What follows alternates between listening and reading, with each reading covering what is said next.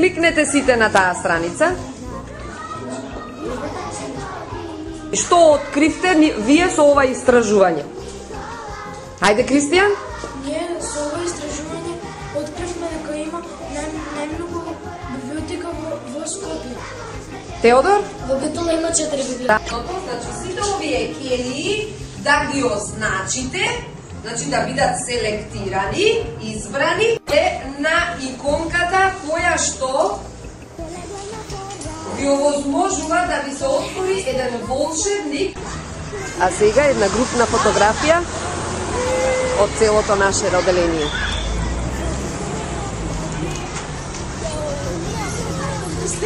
Ајде, Деница.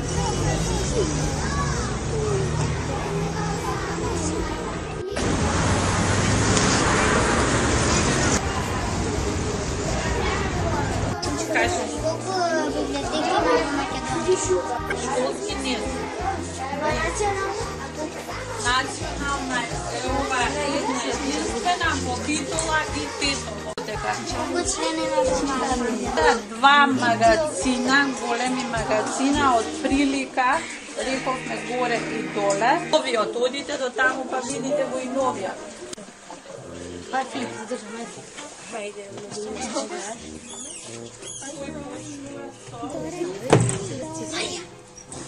Кај на ово да видиш како е.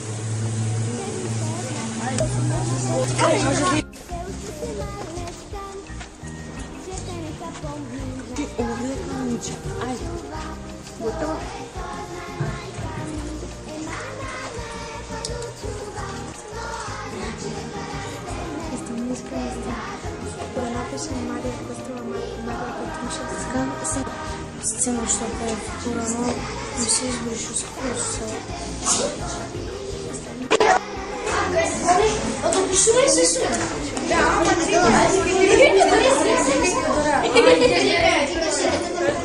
Телефонот е како извичник и стиснав на него и ја и Марија сме приклучени. Влеговме во незината адреса, Добро.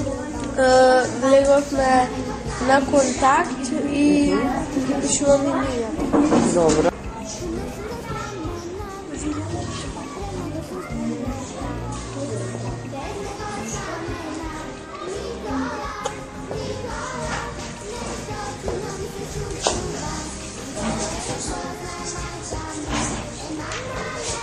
Филип, ти што правиш?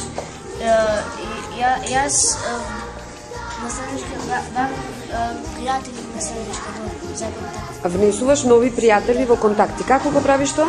Каде кликнуваш? Во контакт овдека пишувам името и имејлот после сейвнувам па у контакт.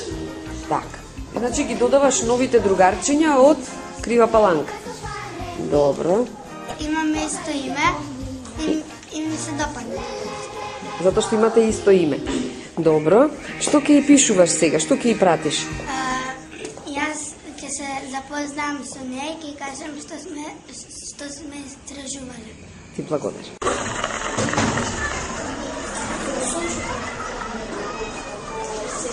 Денес го снимаме првиот видеоконференциски час со нашите ученици од Крива Паланка, на кои што сите ќе им мафнеме. А денеска ќе слушнеме за на рачна изработка на еколошка хартија. Со помош на растенија еколошка хартија, е, потоа правевме украсни хартија. Да, како се прави хартијата, како да правиме декоративни хартии стара отпадна хартија.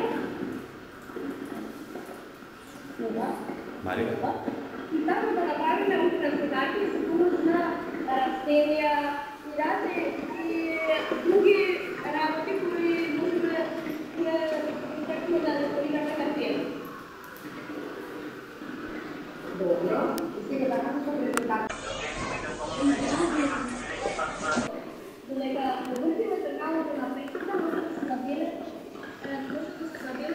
Deresi'nin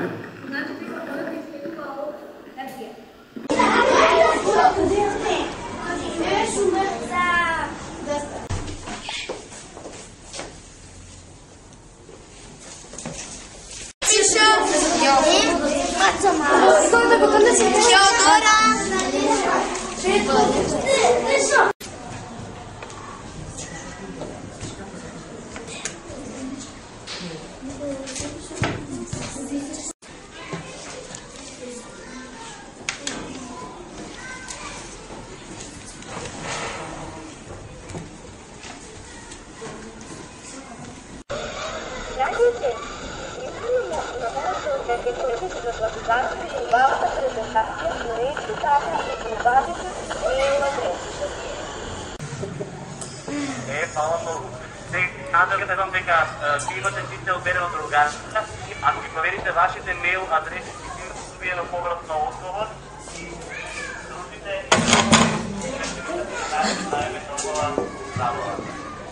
Ви благодариме и ние. До видовање. До.